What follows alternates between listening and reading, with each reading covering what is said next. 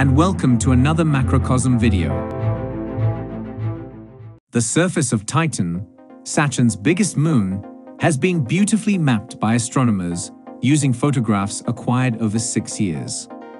The images were captured by the Cassini probe, which has been orbiting Saturn since July 2004. Stéphane Le Mouélic, an astronomer explains the reason why did the map's creation take so long. As Cassini is orbiting Saturn and not Titan, we can observe Titan only once a month on average.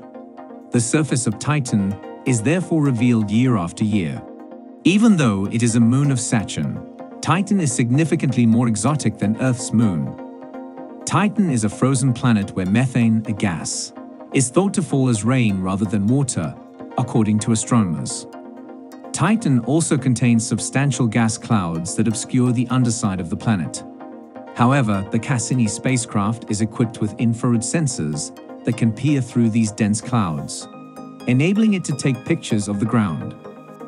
The Cassini photo collections had to be meticulously assembled into a map by astronomers, much like a jigsaw puzzle. But it was challenging to put the puzzle pieces together because some were captured while the surface was more well lit.